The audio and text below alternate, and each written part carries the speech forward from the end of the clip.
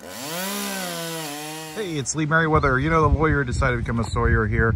Well, I have so many logs to mill. I've got two weeks to mill as many of these logs as possible, and some of them are customer logs, uh, including that one, which is actually a big old post oak.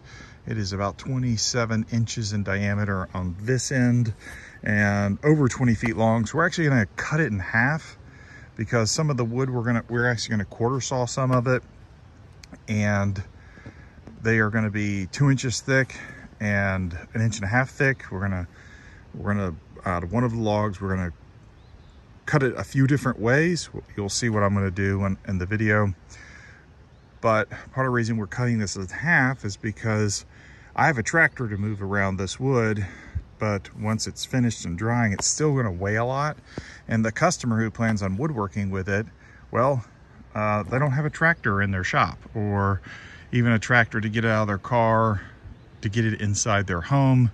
So for that reason, I'm cutting this in half. It'll be easier to work with on the mill uh, as well, not just uh, easier for the customer.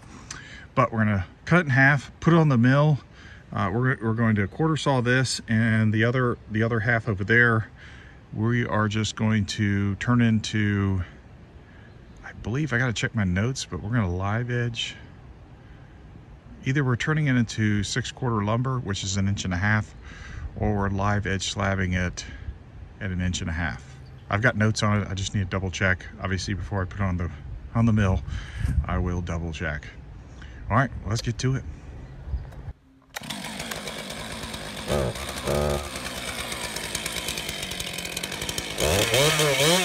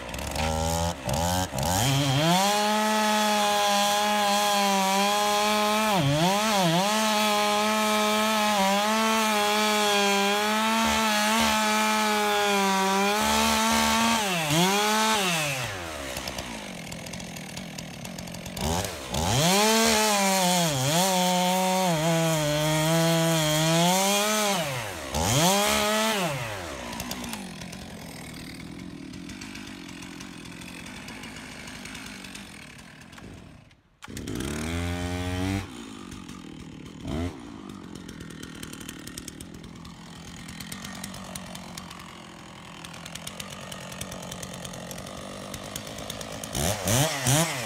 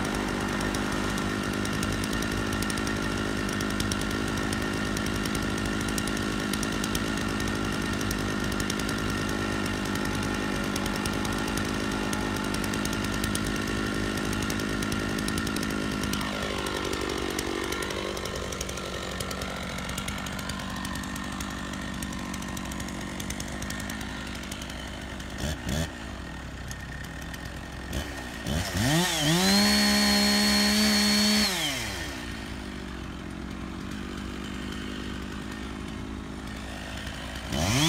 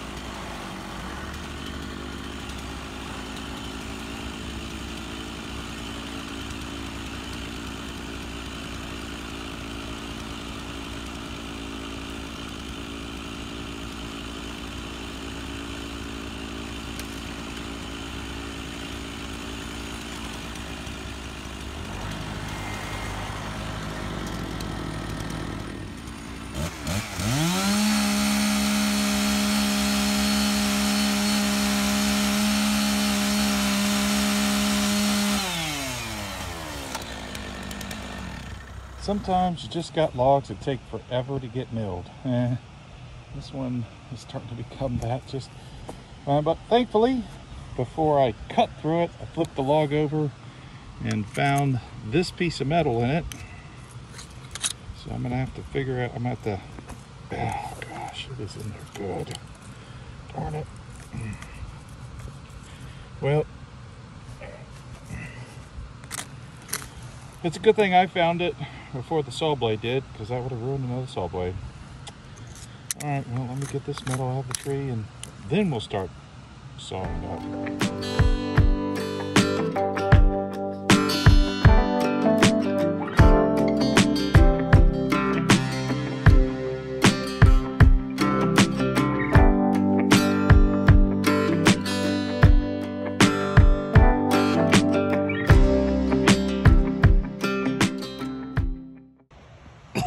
Okay, so I got finally got that piece of metal.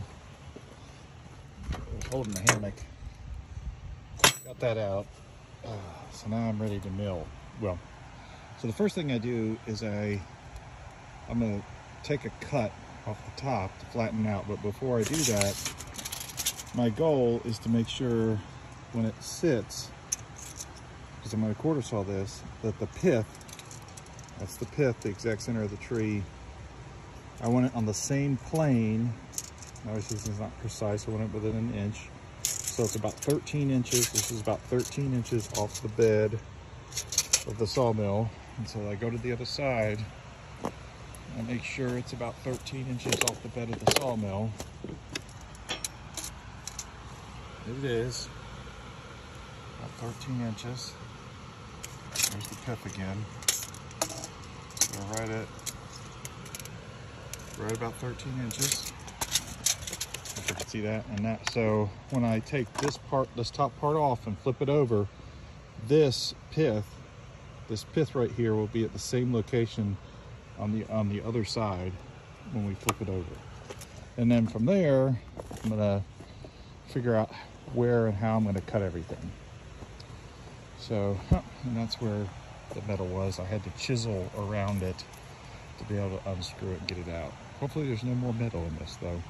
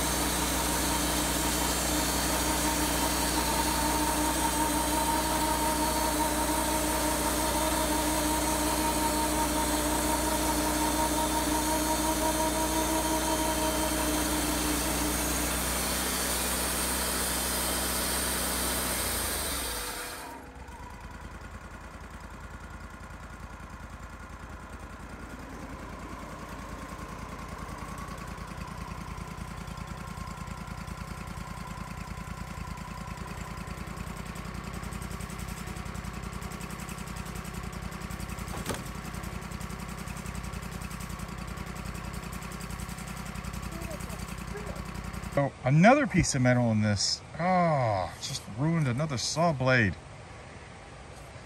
Oh, I don't even know what this is, but this was down at least an inch and a half into the wood. Mm.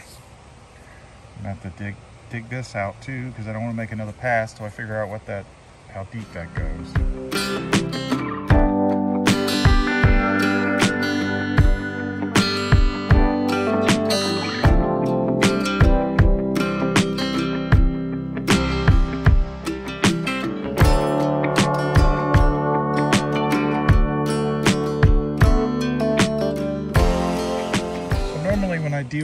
And I hit something like this, usually just about every time it's going straight down because when someone screws something into a tree, um, it's to hang something up so they screw it down in this direction. Unfortunately, either that's another piece of metal all together right down in there or this was is actually but I can't yeah I can't figure out what's going on here but anyways now not only did I just ruin my saw blade but I also then just tore up my chainsaw blade my chainsaw chain ah just so frustrated anyways I may have to cut this whole section of the log off I can't get deal with that uh, but I mean, I can't saw this up. I'm no telling how deep that goes and what, like how far in that direction it's going.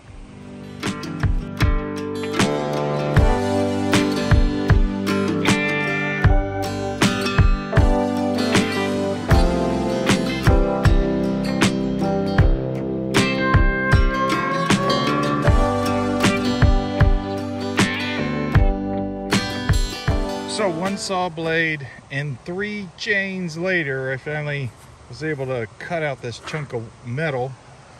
I mean, it starts here, you can see it there. It actually goes down here. Um, I tried to run the saw blade through here. It ran into the metal again, so the metal went all the way down here. So it's, I'm not sure what it is, but several inches thick, four or five inches thick.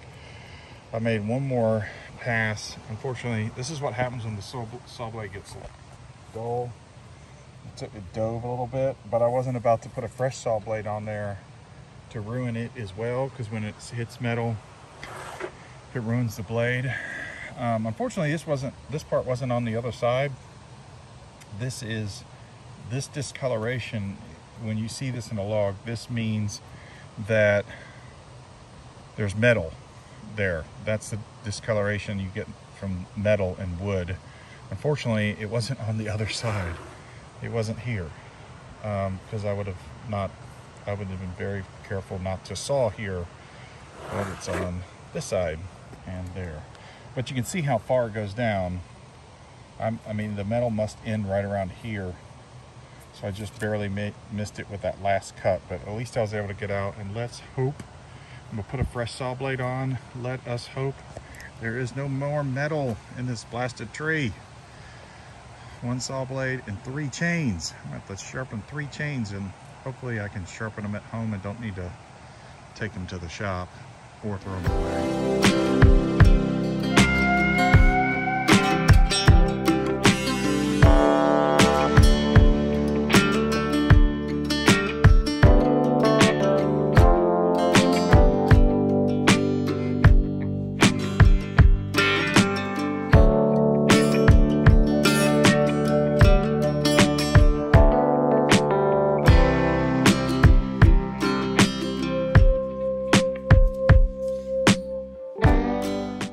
So I stopped for dinner because I had to take a break because I kept hitting all the flipping metal.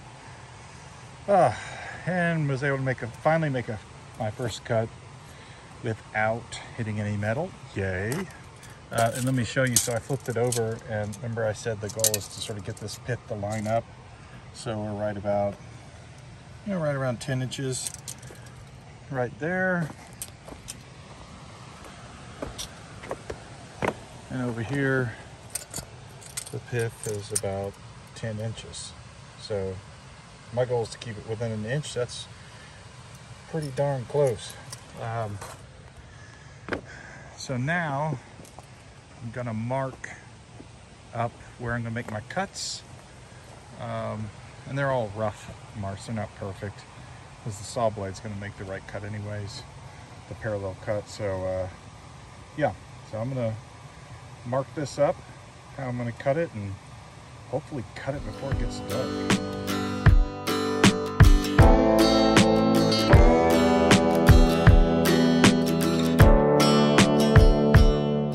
Okay, so I've marked up this log for quarter sawing.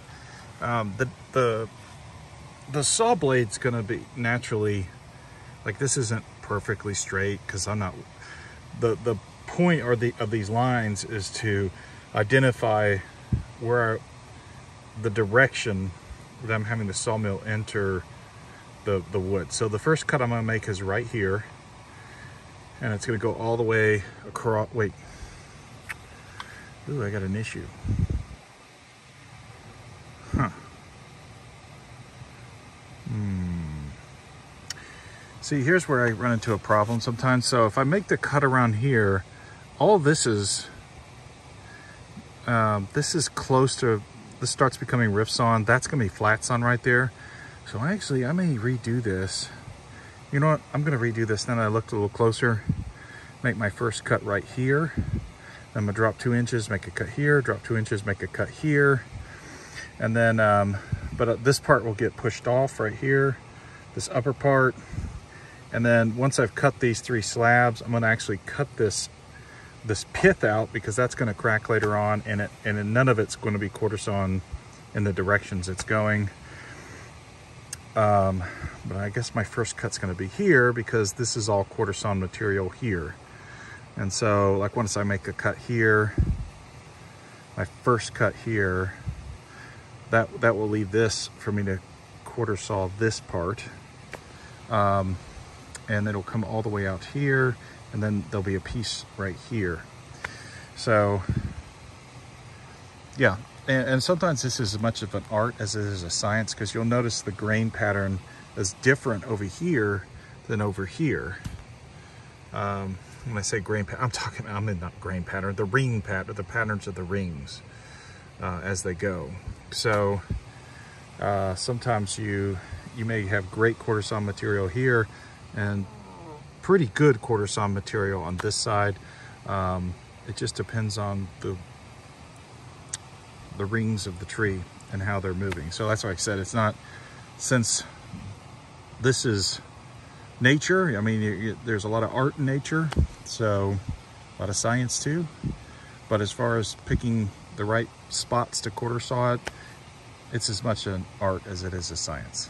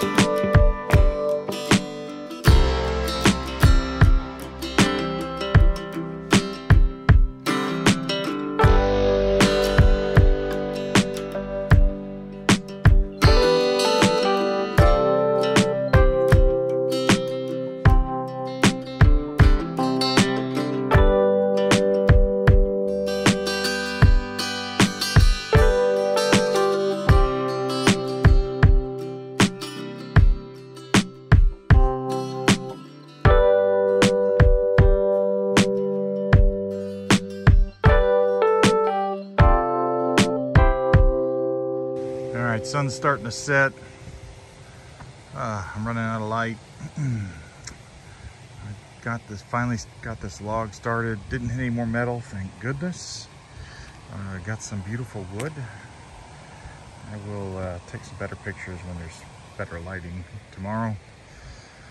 But yeah, sometimes you get these logs and you have problems with them, like metal, and then you fall behind and then you rush things and then one thing after another happens and then that takes even longer.